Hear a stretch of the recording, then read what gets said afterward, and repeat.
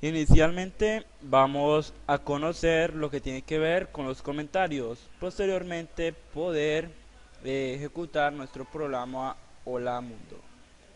Los comentarios en NetBeans son de dos tipos, es decir, los tipos lineales en donde yo puedo ejecutar Hola, soy un comentario. Y si sigo escribiendo a este lado, obviamente NetBeans me va a arrojar un error. Por tanto, este tipo de mensajes son de tipo lineal. Los mensajes o comentarios en NetBeans son de dos tipos. Ya había dicho que son los tipos lineales y los de tipo múltiple. Es decir, donde inicia una contrabarra, es decir, una barra y un asterisco, debe terminar con un asterisco y una barra dentro de este cuerpo yo puedo ejecutar, bueno, escribir o guiarme con cualquier comentario. Esto es otro comentario. Recordemos que los comentarios son para que nosotros los humanos nos guiemos y podamos ver en nuestra consola que eh, se esté ejecutando alguna cosa. En este caso los comentarios no van a aparecer en nuestra consola. ¿Por qué? Porque simplemente son mensajes que nosotros colocamos para guiarnos dentro de nuestro eh, entorno de desarrollo. También podemos seguir escribiendo todos los mensajes que yo quiera en, este, en esta parte. Entonces ya podemos conocer los comentarios que son de dos tipos. Están los tipos lineales y están los comentarios que son múltiples. Ahora bien, vamos a conocer los tipos de expresiones que yo puedo manejar en NetBeans. Pero en este caso vamos a imprimir en pantalla el famoso Hola Mundo.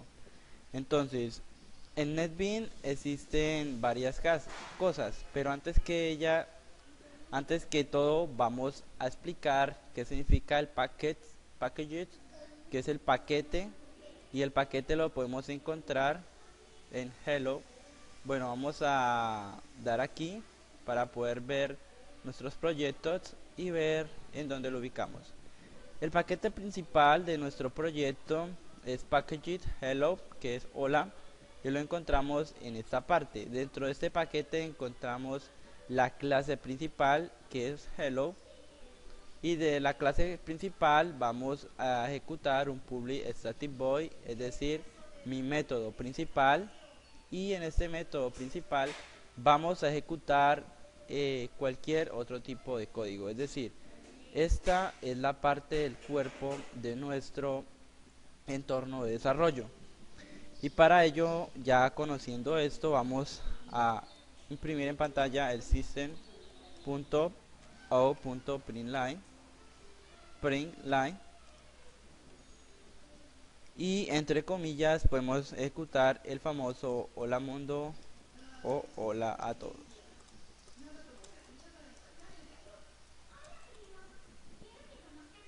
Oh. NetBeans cuando tiene un error nos dice que esta variable op no es admitida y que se localiza dentro de la clase principal. Simplemente la reemplazo por una tab system y al ejecutar mi programa me dice lo siguiente. Hola mundo hola a todos. Es decir el system.out.println me permite imprimir una sola línea. Porque de otra manera si yo quisiera imprimir otra cosa debería de eh, volver a escribir el SOAP el system.println hola soy otro otra línea es decir, que dentro de mi programa puedo escribir tantas líneas como yo pueda.